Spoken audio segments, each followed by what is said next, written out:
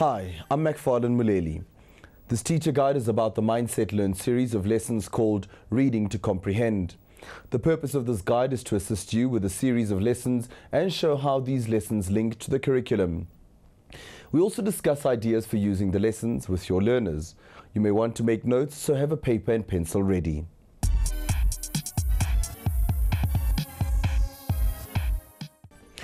This series of eight lessons focuses on reading. Learners are taught that reading should be an active process and that there are various strategies that can be implemented in order to improve their comprehension skills. Learners are also exposed to the dictionary and are shown how valuable and empowering a tool the dictionary can be to assist in reading. The ability to interpret and understand context is another vital tool that learners are encouraged to develop. There are eight lessons in this series surveying a text, active reading, words in context, words that act like signposts, using a dictionary, and more on using a dictionary, getting full marks for comprehension, and the five W's and an H.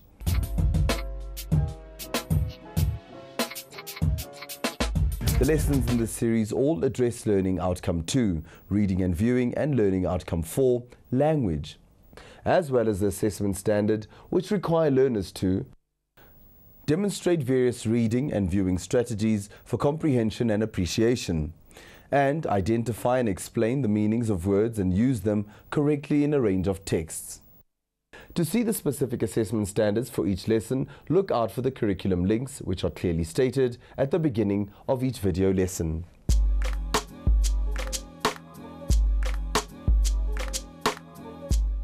Teaching reading skills to high school learners is challenging as they are often daunted by the task of having to read a language that is not their own.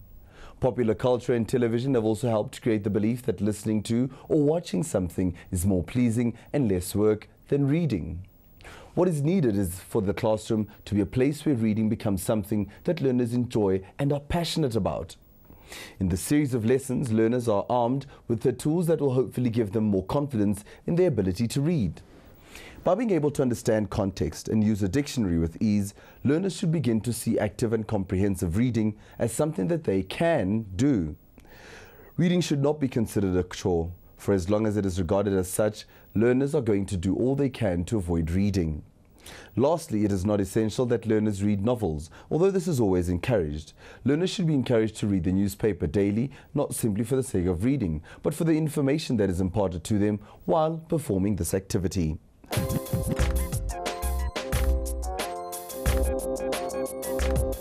If possible, you will find it useful to watch the videos by yourself before you show them to your learners. This will enable you to make notes of places to stop the video and ask questions or to have a discussion. It will also allow you to see when and how you could best incorporate the video lessons into your learning program. You could also think of activities you could do with your learners before or after watching the videos. Throughout the lessons, you will see the pause icon. The pause indicates a good place to stop the video and get your learners to complete a quick activity or have a discussion about something. Obviously, you don't have to stop the lesson at every pause, but should you choose to use them, you will find that they will help you to get learners involved and keep them paying attention. To get learners interested in these lessons and to keep them involved, you will find it very useful to get them to do the tasks and activities presented in the lesson. These tasks are linked to the learning outcomes given in the lessons and to at least one assessment standard in the curriculum policy. Completing the task will give both you and your learners evidence of how well they have achieved the lesson outcomes. The task can also be used as part of a learner's record of progress towards the assessment standards for each grade. Now, let's have a more detailed look at the lessons in the series and how you can use them in your classroom.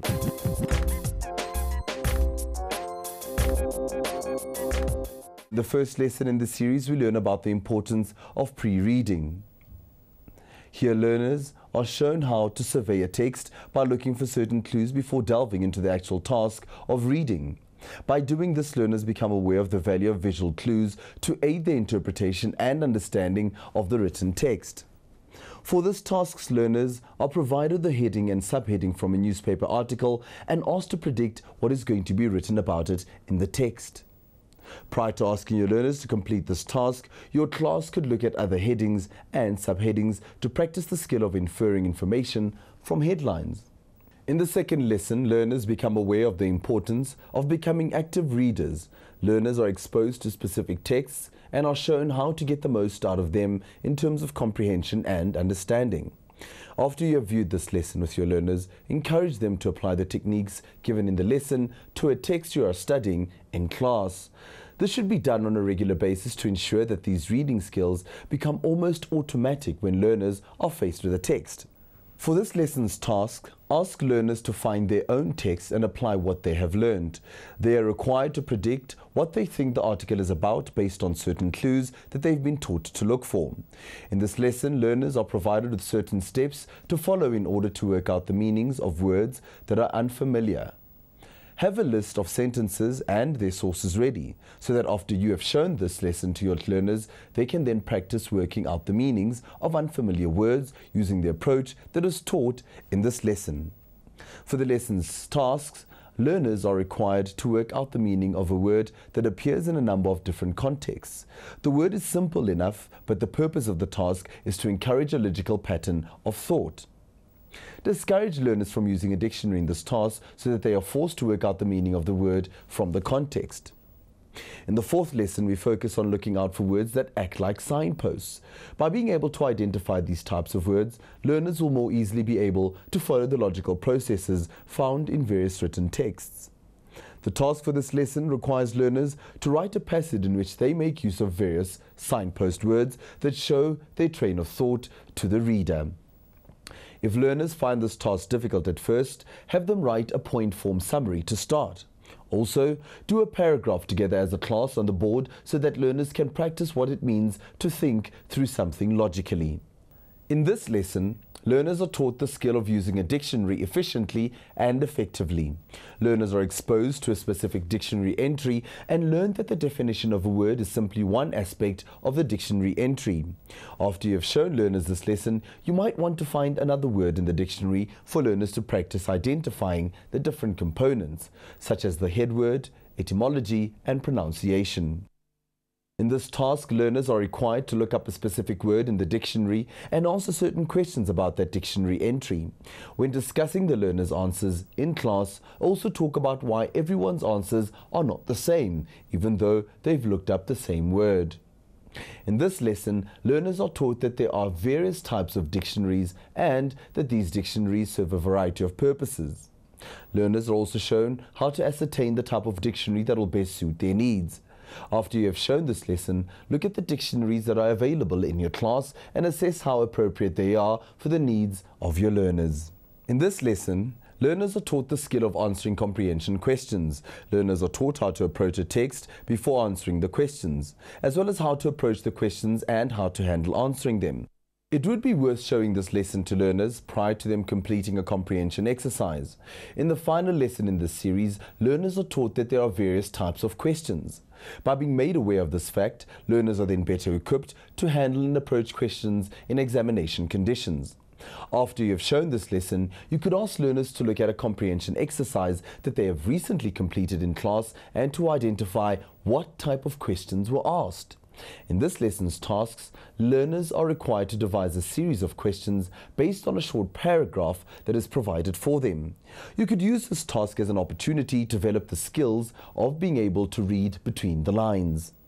Learners should be made aware that being able to read actively and critically is a tool that develops both knowledge and power.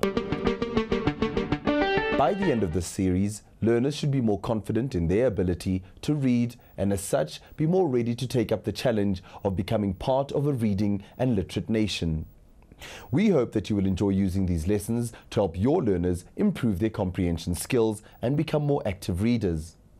However, if you would like more information about how to use these lessons or even lesson notes for each lesson, please visit our website on www.mindset.co.za. Goodbye.